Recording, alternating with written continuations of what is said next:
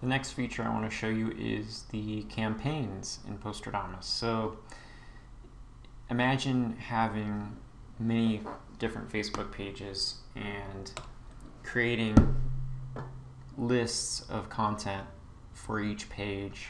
Sometimes each page could have many lists.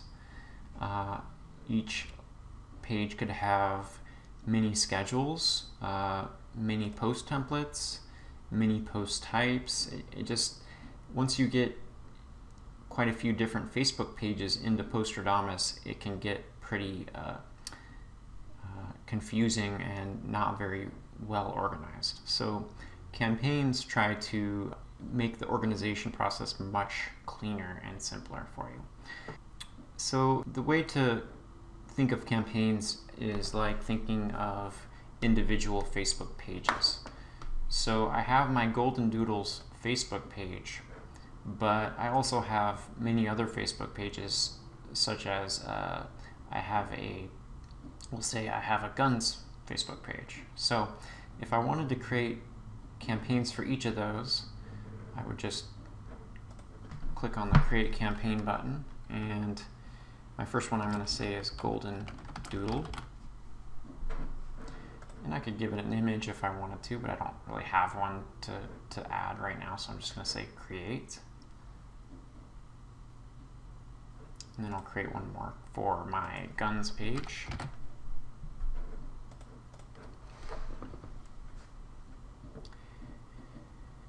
And now that I have these two campaigns set up, I can switch between them up here.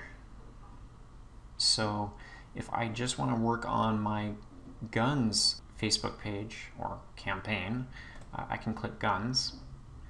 And now everything that I do inside of Postradamus, or at least 99% of the things that I do in here, are going to pertain only to my Guns campaign. So uh, any uh, lists that I create, for example, I could create one right now. Guns test list. If I create that, Uh, you should be able to see that over here in the not ready section. And there it is, guns test list. I don't have really any posts in there yet, but that doesn't matter for this uh, demonstration. Uh, but now if I switch to my Golden Doodles campaign, that list shouldn't show up. And, and indeed it doesn't. So uh, now I have a really clear and, and easy way to separate my Golden Doodle Postradamus items from my guns Postradamus items. So all my lists uh, are going to show up for my guns page only if I'm looking at my guns campaign over here. Uh, if I create any schedules, same thing. Test schedule.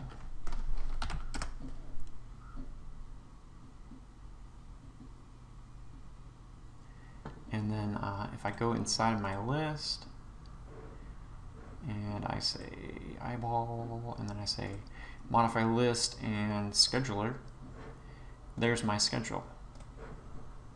However, if I go into my Golden Doodle campaign and then I create a list, list, list,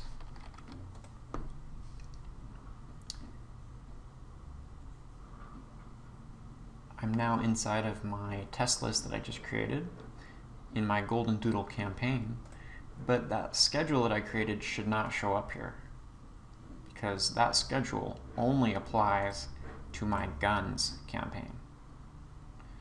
So a very useful way to separate all your lists, schedules, templates, types, uh, even your connections.